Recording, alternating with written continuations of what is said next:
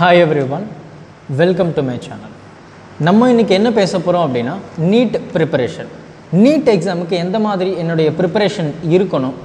எந்த மாதிரி சப்ஜெக்டில் எந்த மாதிரியான டாபிக்ஸ் வந்து நான் ரொம்ப இம்பார்ட்டன்ட் கொடுத்து படிக்கணும்? இப்போ சப்போஸ் என்னுடைய இன்ஸ்டியூட் போயிட்டு என்னால் படிக்க முடியல சார் எனக்கு அந்த அளவுக்கு செலவு பண்ண முடியல சார் அப்படின்னா செல்ஃப் ஸ்டடி நானே படிக்கிறதுக்கு எந்த மாதிரியான புக்ஸை நான் ரெஃபர் பண்ணணும் அப்படின்றத பற்றி நம்ம இந்த வீடியோவில் ரொம்ப டீட்டெயில்டாக பார்க்க போகிறோம் ஸோ இது எல்லாமே பார்க்குறதுக்கு முன்னாடி. நீட் அப்படின்னா நமக்கு என்னன்னு தெரியணும் இல்லையா? So national eligibility cum entrance test so இந்த நீட் எக்ஸாம் நம்ம எதுக்கு எழுதுகிறோம் அப்படின்னா ஒரு எம்பிபிஎஸ்ஸோ இல்லை பிடிஎஸ்ஸோ நான் பண்ணணும் அப்படின்னா இந்த நீட் எக்ஸாமை நீங்கள் கண்டிப்பாக எழுதியே ஆகணும். இது கவர்மெண்ட் காலேஜுக்கு மட்டும்தான் பொருந்துமா சார் அப்படின்னா இல்லை. இது ப்ரைவேட் காலேஜுக்கும் இந்த நீட் எக்ஸாமை வந்து கண்டிப்பாக நீங்கள் எழுதியே ஆகணும்.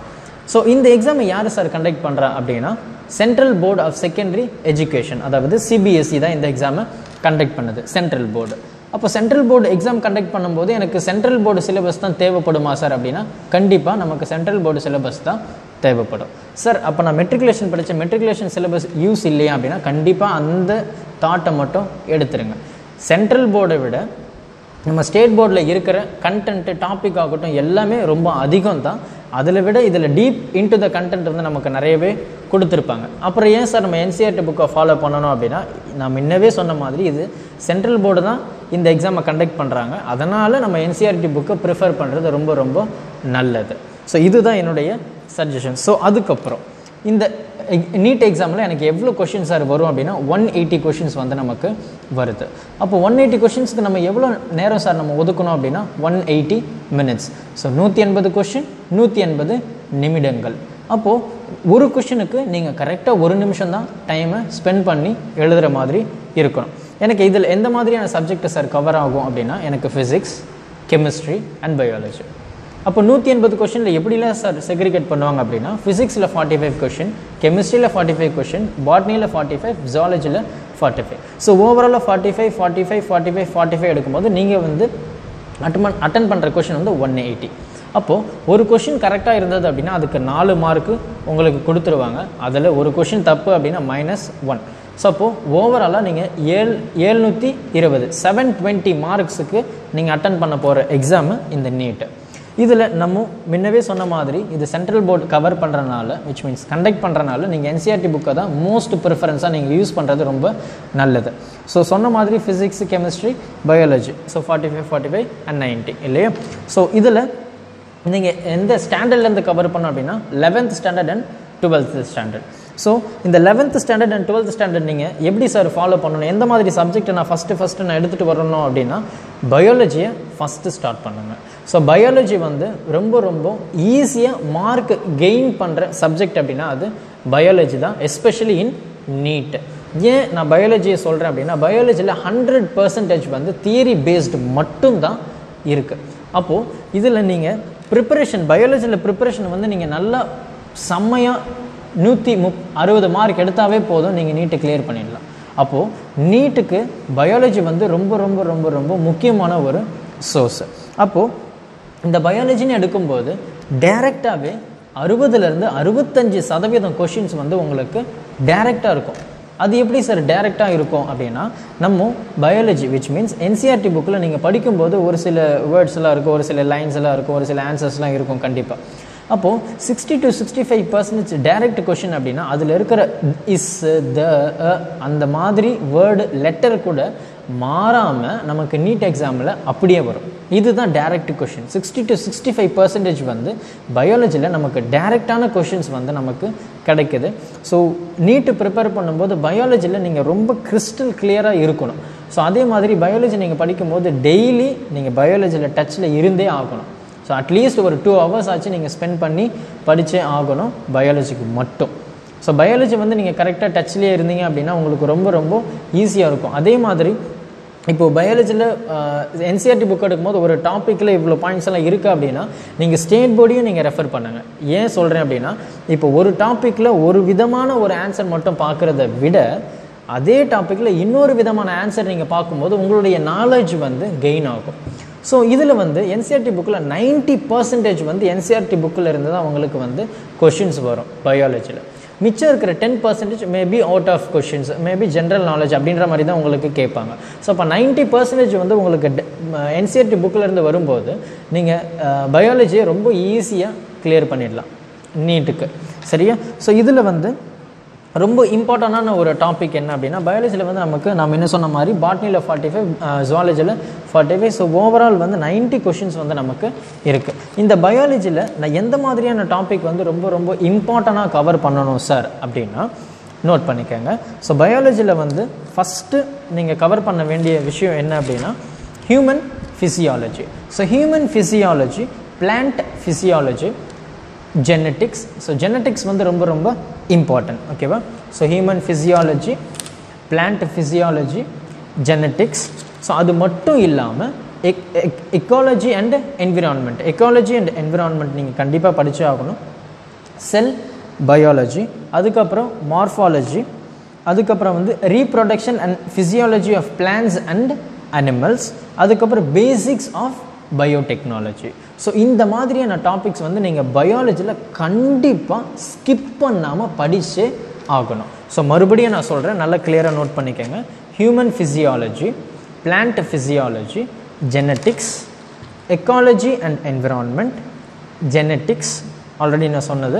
Cell biology morphology reproduction and physiology of plants and animals அதுக்கப்புறம் பேசிக்ஸ் ஆஃப் பயோடெக்னாலஜி ஸோ பயாலஜியில் இந்த மாதிரியான டாபிக்ஸை தயவு செஞ்சு ஸ்கிப் பண்ணாமல் கிளியராக படிச்சிருங்க.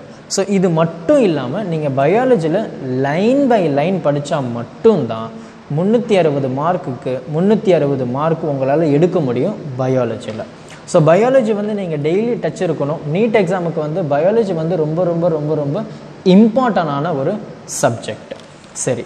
பயாலஜி முடிஞ்சு போயிடுச்சு சார் ஸோ அடுத்தது நீங்கள் என்ன போகணும் அப்படின்னா கெமிஸ்ட்ரி ஸோ பயாலஜி முடிச்சிட்ட பிறகு நீங்கள் கெமிஸ்ட்ரி போங்க. ஸோ சைமல்டேனியஸாக நீங்கள் மூணு சப்ஜெக்டை ப்ரிஃபர் பண்ணாலுமே சரி பயாலஜிக்கு ரொம்ப முக்கியத்துவம் கொடுத்துட்டு அதுக்கப்புறம் கெமிஸ்ட்ரிக்கு வாங்க. ஸோ கெமிஸ்ட்ரியில் வந்து நமக்கு ஃபார்ட்டி ஃபைவ் கொஷின்ஸ் வந்து கேட்பாங்க. இந்த ஃபார்ட்டி ஃபைவ் கொஷின்ஸ் எந்த மாதிரி இருக்கும் சார் எந்த மாதிரியான டாப்பிக்கில் இருந்து இருக்கும் அப்படின்னா நமக்கு ஆர்கானிக் அப்படின்னு சொல்லிட்டு ஒன்று இருக்குது அதுக்கப்புறம் இன்ஆர்கானிக் அப்படின்னு இருக்குது அதுக்கப்புறம் ஃபிசிக்கல் கெமிஸ்ட்ரி இந்த ஃபிசிக்கல் கெமிஸ்ட்ரியில் இருந்து தான் நமக்கு ப்ராப்ளம் பேஸ்டு வந்து கண்டிப்பாக கேட்குறதுக்கான சான்சஸ் வந்து ரொம்ப அதிகம். இந்த ஃபிசிக்கல் கெமிஸ்ட்ரியில் பார்த்தீங்க அப்படின்னா நமக்கு வந்து டுவெல் சாப்டர்ஸ் இருக்குது அந்த டுவெல் சாப்டர்ஸில் நம்ம ஒரு சாப்டரில் ஒரு கொஷின் எதிர்பார்த்தாலுமே ப்ராப்ளமில் டுவெல் சாப்டர்ஸில் ஆல்மோஸ்ட் நமக்கு டுவெல் கொஷின்ஸ் வந்து கண்டிப்பாக வந்துடும் அப்போது இந்த ப்ராப்ளம் பேஸ்ட் அதாவது கெமிஸ்ட்ரியில் நமக்கு ப்ராப்ளமே வந்து ஃபிஃப்டீன் டு டுவெண்ட்டி கொஷின்ஸ் வந்து நமக்கு வருது. இதில் ஃபிசிக்கல் கெமிஸ்ட்ரிலேயே ஃபிஃப்டீன் கொஷின்ஸ் வந்துருச்சு. ஸோ அப்போது இந்த கெமிஸ்ட்ரி ப்ரிப்பேர் பண்ணும்போது நீங்கள் ஆர்கானிக் இன்ஆர்கானிக் எஸ்பெஷலி ஃபிசிக்கல் கெமிஸ்ட்ரியில் ரொம்ப ரொம்ப ரொம்ப ஸ்ட்ராங்காக இருக்கணும். சார் இது மூணு தானா அப்படின்னா இருக்குது ஸோ கெமிஸ்ட்ரியில் இன்னமும் டாபிக்ஸ் நான் சொல்கிறேன் நல்லா கிளியராக நோட் பண்ணிக்கோங்க. ஒன்று வந்து ஆர்கானிக் ஸோ ஆர்கானிக்கில் இருக்கும் நிறைய. அதுக்கப்புறம் இன்ஆர்கானிக் ஸோ இது மட்டும் இல்லாமல் ஈக்குவல் லிபரியம் அப்படின்னு சொல்லிட்டு ஒன்று இருக்குது ஸோ ஈக்குவல் லிபரியம் தயவு செஞ்சு நல்லா ப்ரிப்பேர் பண்ணுங்கள் அதுக்கப்புறம் எலக்ட்ரோ கெமிஸ்ட்ரி அதுக்கப்புறம் தெர்மோடைனமிக்ஸ் ஸோ இதில் எல்லாத்துலேயும் நீங்கள் ஸ்ட்ராங்காக இருக்கணும். Eleventh standard so eleventh standard which means all over இல்லையா? ஸோ லெவன்த்தும் சரி டுவெல்த்தும் சரி. ஸோ இதில் வந்து நீங்கள் கெமிஸ்ட்ரியில் ரொம்ப முக்கியமான விஷயம் என்ன கற்றுக்கணும் அப்படின்னா நீங்கள் லெவன்த்து ஆர்கானிக் கெமிஸ்ட்ரி நல்லா நோட் பண்ணிக்கோங்க. Eleventh standard NCERT book organic chemistry நீங்கள் நல்லா தரவாக இருந்தால் மட்டும்தான் டுவெல்த்தில் இருக்கிற ஆர்கானிக் கெமிஸ்ட்ரி வந்து உங்களுக்கு புரியும். ஸோ அப்போது லெவன்த்தில் இருக்கிற ஆர்கானிக் கெமிஸ்ட்ரி வந்து பேக் போன் அப்படின்னு நம்ம சொல்லிக்கலாம். ஸோ அப்போது டுவெல்த்து கெமிஸ்ட்ரி நீங்கள் படிக்கணும் அப்படின்னா லெவன்த்து கெமிஸ்ட்ரி நீங்கள் கண்டிப்பாக தரவு பண்ணியே ஆகணும். ஸோ அப்போ இதில் என்ன மாதிரியான டாபிக்ஸ் இம்பார்ட்டன்ட் சொல்லிட்டு நான் இப்போ தான் சொன்னேன். மறுபடியும் சொல்கிறேன் நல்லா கேட்டுக்கோங்க. என்ன அப்படின்னா equilibrium electro chemistry thermodynamics so இது முடிஞ்சிருச்சு. ஸோ டுவெல்த் சைடு பார்த்தோம் அப்படின்னா ஆல்டிஹைட்ஸ் அண்ட் கீட்டோன்ஸ் அப்படின்னு சொல்லிட்டு ரொம்ப ரொம்ப முக்கியமான topics so aldehydes and ketones carboxylic acids carboxylic acids அதுக்கப்புறம் chemical ketones chemical sorry kinetics chemical kinetics இது மட்டும் தான் சார் அப்படின்னா இல்லை. இன்னும் ரெண்டு மூணு டாபிக்ஸ் இருக்குது அதையும் நான் சொல்கிறேன் நல்லா கான்சன்ட்ரேஷன் பண்ணி கெமிஸ்ட்ரியில் நல்லா தரவாக படிச்சுக்கோங்க. ஸோ என்ன அப்படின்னா மோல் கான்செப்ட்ஸு மோல் கான்செப்ட்ஸ் அப்படின்னு இருக்குது அதுக்கப்புறம் periodic table chemical bonding coordination chemistry சரியா? ஸோ இது எல்லாமே நீங்கள் கெமிஸ்ட்ரியில் வந்து கண்டிப்பாக நீங்கள் தரவு பண்ணியே ஆகணும். Let me remeet repeat again equilibrium electrochemistry thermodynamics aldehydes and ketones carboxylic acid chemical kinetics mole concepts periodic table chemical bonding coordination chemistry so கெமிஸ்ட்ரியில் இது எல்லாமே நீங்கள் தரவு பண்ணியே ஆகணும் இந்த டாபிக்ஸ் எதுவுமே நீங்கள் ஸ்கிப் பண்ணவே கூடாது ஸோ அதுக்கப்புறம் பார்த்தீங்க அப்படின்னா நம்ம தேர்டு ரொம்ப இம்பார்ட்டண்டான ஒரு சப்ஜெக்ட் ஃபிசிக்ஸு ஸோ இந்த ஃபிசிக்ஸில் வந்து நீங்கள் எப்படி ப்ரிப்பேர் பண்ணணும் அப்படின்னா அதே தான் ஃபார்ட்டி ஃபைவ் கொஷின்ஸ் நமக்கு ஃபிசிக்ஸில் இருந்து வருது. So when compare to eleventh standard physics twelfth standard physics வந்து நமக்கு ஈஸியாக இருக்கும் புரிஞ்சுக்கிறதுக்கு. சரியா? ஸோ அப்போ இதை நம்ம எப்படி சார் ப்ரிப்பேர் பண்ணணும் அப்படின்னா ஆல்மோஸ்ட் நீங்கள் டெய்லி ஒரு நாளைக்கு வந்து முப்பது கொஷின்ஸ் ஆச்சு நீங்கள் ப்ராக்டிஸ் பண்ணியே ஆகணும் சால்வ் பண்ணியே ஆகணும். இப்போ ஃபிசிக்ஸை பொறுத்த வரைக்குமே நான் ஃபார்முலா மட்டும் படித்தா போதுமா சார் ஈஸியான ஃபார்முலா மட்டும் படித்தா போதுமா அப்படின்னா கிடையாது. ப்ராப்ளம்ஸ் சால்வ் பண்ணால் மட்டும்தான் நீங்கள் ஃபிசிக்ஸில் ஈஸியாக மார்க் எடுக்க முடியும். ஸோ இதில் வந்து நமக்கு சொல்லியிருப்பாங்க இந்த மாதிரி ஃபார்ட்டி ஃபைவ் கொஷின்ஸ்லேயே நமக்கு ஃபார்ட்டி ஃபைவ் கொஷின்ஸும் நமக்கு ப்ராப்ளம் தான் வரும் அப்படின்னு. இல்லை. ஸோ லாஸ்ட் டைம் பார்த்தீங்க அப்படின்னா டென் கொஷின்ஸ் வந்து தியரி பேஸ்டில் தான் கேட்டிருந்தாங்க ஃபிசிக்ஸில் ஸோ ஃபிசிக்ஸ் பண்ணும்போது ப்ராக்டிஸ் இந்த ப்ராப்ளம் வந்து ரொம்ப ரொம்ப இம்பார்ட்டன்ட் ப்ராப்ளம்ஸை நீங்கள் ப்ராக்டிஸ் பண்ணுங்கள் ஸோ அது ரொம்ப இம்பார்ட்டன்ட் ஸோ என்சிஆர்டி புக்கு படிச்சிட்ட பிறகு நீங்கள் மெட்ரிகுலேஷன் புக்கு படிக்கிறது ரொம்ப ரொம்ப ரொம்ப நல்லது. ஸோ இதை நீங்கள் எப்படி ப்ரிப்பேர் பண்ணணும் அப்படின்னா இதில் வந்து ஒரு சில டாபிக்ஸ் சொல்கிறேன் அந்த டாபிக்ஸ்லாம் வந்து ரொம்ப ரொம்ப இம்பார்ட்டன்ட் ஃபிசிக்ஸில் ஸோ என்ன மாதிரியான டாபிக்ஸ் அப்படின்னா கைனமேட்டிக்ஸ் ஒன்று வந்து கைனமேட்டிக்ஸ் இன்னொன்று வந்து லா ஆஃப் மோஷன்ஸ் அதுக்கப்புறம் ரொட்டேஷ்னல் மெக்கானிசம் இது ரொம்ப ரொம்ப இம்பார்ட்டன்ட் சரியா? So kinematics law of motions rotational mechanism அதுக்கப்புறம் மெக்கானிக்ஸ் அதுக்கப்புறம் ஆப்டிக்ஸ் அதுக்கப்புறம் நியூக்ளியர் ஃபிசிக்ஸ் அதுக்கப்புறம் மாடர்ன் ஃபிசிக்ஸ் ஸோ இது எதுவுமே நீங்கள் வந்து ஸ்கிப் பண்ணாமல் படிக்கணும். ரொம்ப ரொம்ப இம்பார்ட்டன்ட் அப்படின்னா kinematics law of motion rotational mechanism so இது எல்லாமே ரொம்ப ரொம்ப இம்பார்ட்டண்டான டாபிக்ஸ் இன் ஃபிசிக்ஸ் ஸோ இது இது மட்டும் போதுமா அப்படின்னா போதும். ஸோ இதெல்லாம் நல்லா தரவு பண்ணிக்கோங்க.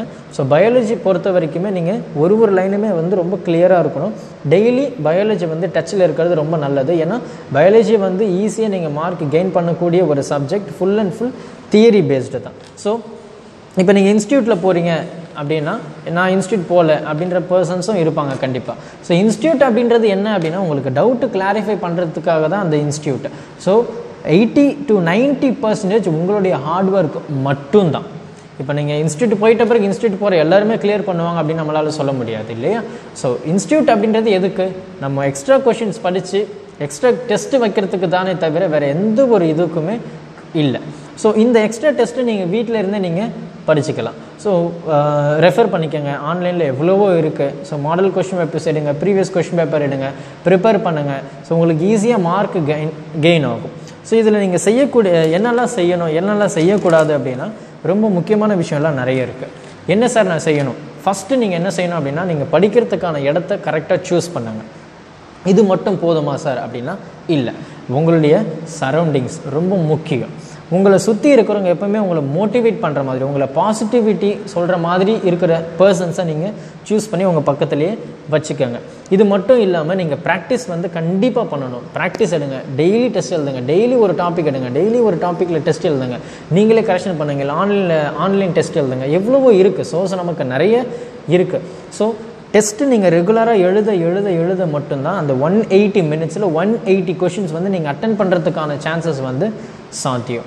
இல்லைன்னா நீங்கள் ஒரு கொஷினே ரொம்ப நேரம் டைம் ஸ்பெண்ட் பண்ண ஸ்பெண்ட் பண்ண ஸ்பெண்ட் பண்ணுற மாதிரி உங்களுக்கு போயிடும். ஸோ அதனால் ப்ராக்டிஸ் வந்து ரொம்ப ரொம்ப ரொம்ப முக்கியம். ஸோ இது மட்டும் இல்லாமல் ஷார்ட் நோட்ஸை வந்து நீங்கள் கண்டிப்பாக எடுத்தாகணும். ஒரு டாபிக் நீங்கள் ப்ரிப்பேர் பண்ணும்போது அந்த டாபிக் ஏற்ற மாதிரி சின்ன சின்ன ஹிண்ட் ஸோ பாயிண்ட்ஸ் இந்த டாப்பிக்கில் இந்த ஹிண்ட்டு இந்த பாயிண்ட் ஞாபகம் வந்தே உங்கள் அந்த டாபிக் ஃபுல்லாக ஞாபகம் தரணும் அந்த மாதிரி நோட்ஸ் நீங்கள் கண்டிப்பாக எடுத்தே ஆகணும். ஸோ இதுக்கு வந்து ப்ரிப்பரேஷன் வந்து ரொம்ப இம்பார்ட்டன்ட் ஸோ அதே மாதிரி டைம் ஸ்கெடியூலை கரெக்டாக ஃபாலோ பண்ணி படிங்க.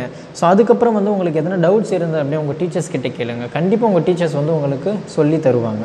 ஸோ அதில் எந்த ஒரு ப்ராப்ளமும் உங்களுக்கு இருக்காது அப்படின்றத நான் நம்புகிறேன் ஸோ ப்ராக்டிஸ் பண்ணிக்கோங்க. கொஷின் பேப்பர் ரொம்ப ரொம்ப இம்பார்ட்டன்ட் ஸோ ப்ரீவியஸ் கொஷின் பேப்பரை படிங்க. ப்ரீவியஸ் கொஷின் பேப்பர் படிக்கிறது மட்டும் இல்லாமல் மறுபடியும் மறுபடியும் நீங்கள் படித்ததை ரிவிஷன் பண்ணுறது ரொம்ப ரொம்ப முக்கியம். ஸோ ரிவிஷன் பண்ண பண்ண பண்ண தான் உங்களுக்கு அந்த டாபிக் வந்து ஞாபகம் இருக்கும் ஸோ நான் முன்ன சொன்ன மாதிரி ஒரு டாப்பிக்கில் ஒரு விஷயத்தை படிக்கிறது மட்டும் இல்லாமல் ஒரு டாப்பிக்கில் பல விஷயங்கள் நீங்கள் படிச்சீங்க அப்படின்னா உங்களுக்கு எக்ஸாம் அப்ரோச் பண்ணுறதுக்கு ரொம்ப ஈஸியாக இருக்கும். ஸோ நீங்கள் ப்ராக்டிஸ் அதிகமாக டெஸ்ட் எழுத எழுத எழுத இந்த நீட் எக்ஸாம் எழுதும்போது நீங்கள் ஃப்ரீயாக எழுதலாம் ஸ்ட்ரெஸ் பெஸ்ட் அது இருக்காது. ஸ்ட்ரெஸ் இல்லாமல் நீங்கள் ஃப்ரீயாக ஜாலியாக எழுதுறதுக்கு நிறைய சான்சஸ் இருக்குது ஸோ இது எல்லாத்துக்குமே உங்களுக்கு என்ன தேவை அப்படின்னா ப்ராக்டிஸ் அதுக்கப்புறம் கன்சிஸ்டன்சி ஹார்ட் ஒர்க் வந்து ரொம்ப ரொம்ப முக்கியம். அது மட்டும் இல்லாமல் விடாமுயற்சி ரொம்ப முக்கியம். ஏன்னா நீங்கள் ஒரு டெஸ்ட் எழுதும் போது பல பேர் வந்து உன்னால் முடியலை அப்படின்ற மாதிரி நிறைய நெகட்டிவ் தாட்ஸ் வந்து கொடுப்பாங்க. முதல்ல நீங்கள் பண்ணக்கூடாத விஷயம் என்ன அப்படின்னா நெகட்டிவ் பீப்புளை உங்ககிட்ட இருந்து தள்ளி வைங்க. ஸோ அதுக்கப்புறம் social media Facebook WhatsApp Instagram இதெல்லாம் நீங்கள் யூஸ் பண்ணுறதை தயவு செஞ்சு நிறுத்திடுங்க ஸோ கொஞ்ச நாள் தான். ஏன்னா உங்களுடைய லைஃப் மாறப்போகிற நேரம் இது மட்டும்தான். ஸோ ப்ராக்டிஸ் பண்ணுங்கள் என்சிஆர்டி புக்கு நிறைய பண்ணுங்கள் இது மட்டும் இல்லாமல் ஃபிசிக்ஸில் எக்ஸாம்பிளர் அப்படின்னு சொல்லிட்டு கொஷின்ஸ் இருக்கும். ஸோ லாஸ்ட்டில் இருக்கும். ஸோ எக்ஸாம்பிளர் சம்மை வந்து நீங்கள் கண்டிப்பாக ஃபிசிக்ஸுக்கு ப்ரிப்பேர் பண்ணும்போது இந்த எக்ஸாம்பிளர் சம்மை நீங்கள் கண்டிப்பாக நல்ல தரவாக இருந்தே ஆகணும். அந்த எக்ஸாம்பிளர் சம்ஸ்னால் என்ன சார் அப்படின்னா உங்களுக்கு ஒரு டாப்பிக்கில் ரொம்ப டீப் இன்டு த கண்டென்ட் எடுத்துகிட்டு போகிறதுக்கு தான் அந்த எக்ஸாம்பிளர் சம்மை ஸோ அந்த எக்ஸாம்பிளர் சம்மை நீங்கள் கண்டிப்பாக நல்ல தரவாக இருந்தீங்கன்னா நீட் எக்ஸாம் உங்களுக்கு ஒரு பிரச்சனையும் கிடையாது ரொம்ப ஈஸியாக முடிஞ்சிடும் ஸோ இவ்வளோ தான் உங்களுக்கு எந்த மாதிரியான புக்ஸை நீங்கள் ரெஃபர் பண்ணணும் அப்படின்னா அரிஹந்த் எக்ஸ்ப்ளோரர் அப்படின்னு சொல்லிட்டு ஒரு புக் இருக்குது ஸோ அது மட்டும் இல்லாமல் எம்டிஜி அப்படின்னு சொல்லிட்டு ஒரு புக் இருக்குது சார் சார் நான் செல்ஃப் ஸ்டடியில் பண்ணுறேன் அப்படின்னா அதே அரிஹந்தில் டிசி பாண்டி அப்படின்னு சொல்லிட்டு ஒரு புக் இருக்குது ஸோ அந்த புக்கை நீங்கள் கரெக்டாக ரெஃபர் பண்ணிக்கோங்க. So all the best for your NEET exam so உங்களால் முடியும் அப்படின்ற ஒரு நம்பிக்கையை உங்களுக்குள்ளே முதல்ல எடுத்துகிட்டு வாங்க. உங்களை சுற்றி பாசிட்டிவ் பீப்புளை வச்சுக்கோங்க. ஸோ நீங்கள் டாக்டராக என்னுடைய பெரிய வாழ்த்துக்கள். ஸோ டாக்டர் அப்படின்றது வந்து ரொம்ப ரொம்ப ரொம்ப பெரிய விஷயம். ஏன்னா two two to four weeks முன்னாடி வந்து ஒரு என் எங்கள் அப்பாவோட உயிரை காப்பாற்றினதே ஒரு டாக்டர் தான். ஸோ நீங்களும் அந்த மாதிரி ரொம்ப ஒரு பெரிய டாக்டராக வர்றதுக்கு என்னுடைய பெரிய வாழ்த்துக்கள். நன்றி வணக்கம்.